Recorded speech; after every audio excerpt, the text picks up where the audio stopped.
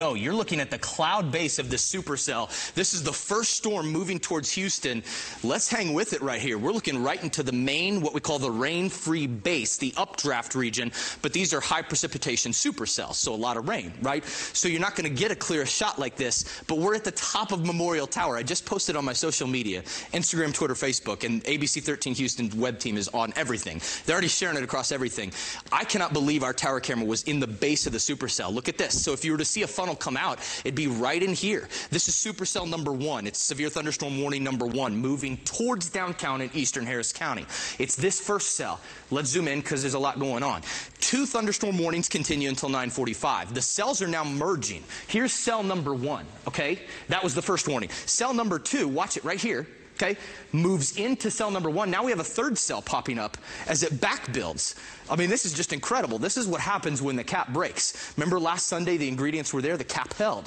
This is why we're thankful for the cap. When the cap breaks and you have the ingredients, you get supercells when you have the ingredients. So this one's showing a little low level rotation just south of the Katy Freeway, and it looks like the Beltway right here. So again, we watch the southwestern sides of these cells where they get inflow notches. Right now, I'm not seeing an indication uh, that I need to be concerned about rotation. We're seeing hail's the main threat right now. These storms are still not quite surface based. That's when the rotation gets closer to the ground. I'm looking at my data feeds off the side of the screen here. Again, two thunderstorm warnings until 945. Two and a half million people in this first one. Still watching for rotation along the southern sides of this. These are my Doppler winds.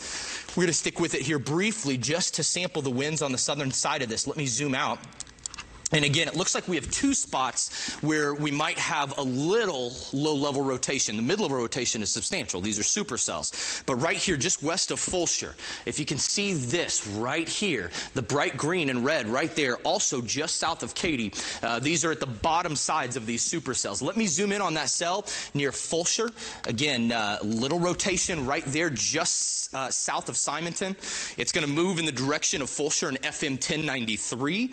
There it is north of Orchard, right there. That's where that rotation is, and it is just south and west of Grand Parkway, right near Katy. So we're watching that cell along with the first cell, both severe thunderstorm warnings, and uh, again, they continue to move off to the east. We'll wait for a new update on these warnings here coming. Uh, we're fairly close, and again, these storms are merging, so you can get some turbulent airflow when they merge. Again, this is that spot I was just looking at with rotation, a little bit of a hook echo back near Fulshear that's moving a little bit south of Katy. It's going to be moving up in the direction of, uh, it looks like Grand Parkway and uh, the Katy Freeway. That's the rain-free base right there. You don't see any lightning in it. Let's go back to our tower camera. I want to show you this. I'm watching it on the side here. This is where the base of that storm is still.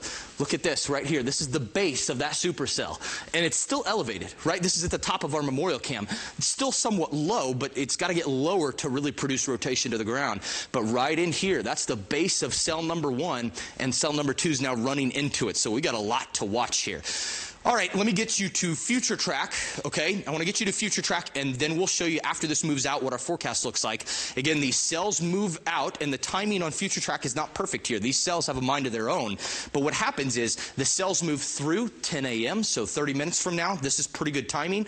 And then by 1 or 2 o'clock, I think this is actually underestimating the speed of these. By 1 or 2 o'clock, we'll see storms probably pushing east. I think this is closer to noon, what we'll see here through Houston. And then after they move out, look at that we're done. So 80% chance, safe to say, that's 100%. I'm going to uh, boost it up to 100%. First time I've done that, actually, I think. Strong storms likely today. After they move out, we will clear. Another round of strong storms on Wednesday, so be prepared for that. Again, we'll come back with any new warnings that they have. More radar hits still up ahead. And here is a live look from